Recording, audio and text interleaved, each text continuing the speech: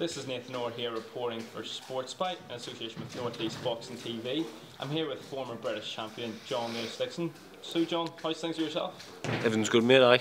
Good. Okay, and two weeks time, two weeks today, um, you're going to be out at the Gateshead Leisure Centre show, um, Hobson Promotions, Fighting Chance Promotions. How are your preparations going ahead of this fight Yeah. against Courtney Fry? Uh, everything's going well, you know. Um, really looking forward to it, and like put some good work in, um, getting some good sparring over the weekend today. Um, we're at Ireland next week, and things is looking good. I. And you mentioned the sparring there, so who are your sparring partners? And... Yeah, I've got Phil Clark up today, uh, do some sparring. He's here over the weekend, um, and also Simon Pendleton. Um, and then next week I'm away to Ireland, and who the, the, obviously getting it sorted out over there, you know. Excellent. Irish gentlemen do it. Excellent, that's great preparation. And obviously, you are going in against Courtney Fry. What sort of test do you see? Is this a former Olympian? Aye, um, obviously I've seen Courtney Fry about the scene since like the likes of uh, obviously the 2000 Olympics when he was there with Audley Harrison and that, you know, and I've knew his name for, for a long time. Uh, he obviously knows his game. He's been in the been in it long enough. Obviously boxing for England and representing his country and stuff. So it'll it'll be a good test, you know. Um, like I say, I'm looking forward to it, but aye, definitely a good test. And touch on this. This is your obviously your comeback fight from your loss against Ovill McKenzie. Now, what are your thoughts looking back on that fight on that night? Um, mentally, you just wasn't right. Uh, you know, I, I went in the fight, and it, I couldn't get myself motivated for it or lifted. I wasn't excited. I, I wasn't nervous. There was just no, no, no emotions there, you know. And uh, I've never experienced that before. So, like, obviously now back in back in camp training, I'm I'm really looking forward to the fight. Which, when I'm training for Mackenzie, I, I couldn't. I didn't want to be in the gym. I wanted. I couldn't be bothered. You know, I had to force myself to do it. Everything was a chore. So I, I've never felt like that before, and hopefully never feel like that again. But it was one of them things, and you learn from your mistakes and get over it. You know. And um, obviously looking at this fight ahead, if you do come past Courtney Fry, obviously not to look past that, but what sort of level would you then look to put yourself on? Obviously, former British champion. What sort of level would you look to be on? Well, like I've said to a few people, I, I, I don't want to chase British title again. You know, I've I sit in my living room on a night time watching telly, and I've got a Lonsdale belt looking at us. it's not much of a of a of a motivation point of view. You know what I mean? Like, but if I got the fight with Hover McKenzie again, the rematch, then it's definitely one I would jump back. You know, obviously Commonwealth and uh, British British British title shot again. I would fight. I would fight for that more. The, more the fact of getting getting the the uh, the revenge over Mackenzie, not not for the British title. I mean, obviously British title's a massive thing. It was me one of my biggest aims in boxing, you know, and, and, and I achieved that, and I've got my belt, and probably the best belt in the world, I think. Um, but now I think it's time to move on and go like internationally and try and get myself on the world scene and, and, and see where we go from there. But like I say, if I got a if I could get a rematch with Oval McKenzie, definitely would would take it without a doubt.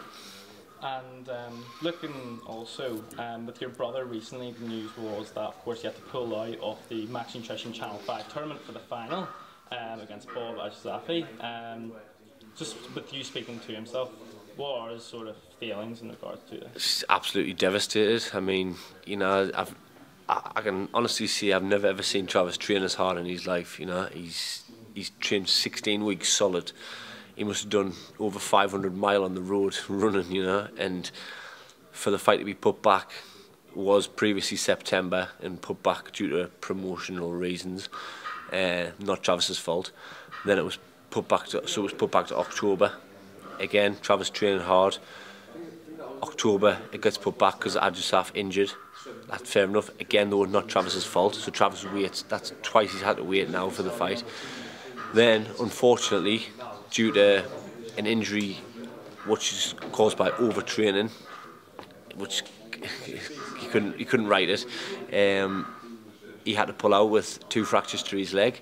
Um, I mean, he, he can't walk. He's he's in, he's in a, he's got his leg in like a, a plastic cast, and he's on crutches. Um, he's in agony. You know, he's on he's on strong painkillers, and obviously we're hoping for a speedy recovery from him. And but but from what's happened, I think Adjusaf could could be a man and give him give him give him his shot after Christmas when he when Travis gets bet when he gets himself better, you know.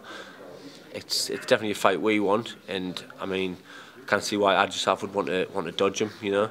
I mean, we we're 100% confident Travis is going to beat him and take that British belt, so let's get it on, you know.